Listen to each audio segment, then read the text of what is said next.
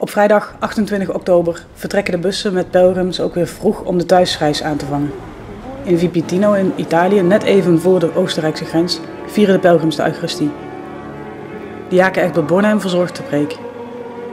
Hij spreekt over de gezelligheid tijdens de bedevaart, de vele foto's die werden gemaakt en hoe daarbij ook aandacht te houden voor de stilte en voor de vraag en het thema van deze bedevaart. Heer, wat wilt gij dat ik doe?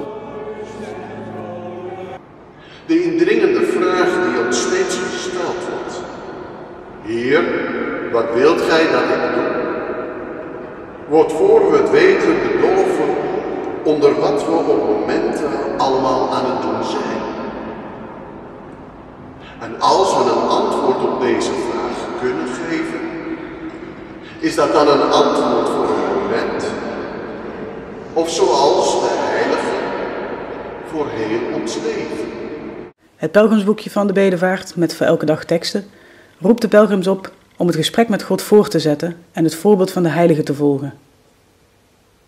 Met de vraag, wat wilt gij dat ik doe in ons hart, reizen we terug naar huis, schrijft het pelgrimsboekje.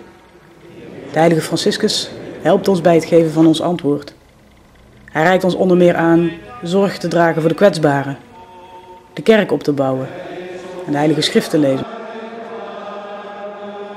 De heilige Clara deelt ons de rijkdom van gebed en aanbidding, terwijl de heilige Antonius ons leert om om te gaan met teleurstelling in ons leven en om te gaan met een nieuwe opdracht. Want gij hebt uw kerk op de apostelen gegrondvest, om haar hier op aarde te maken tot een blijvend teken van uw heiligheid.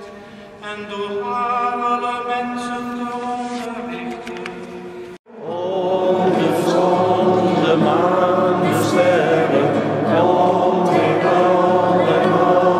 steps on the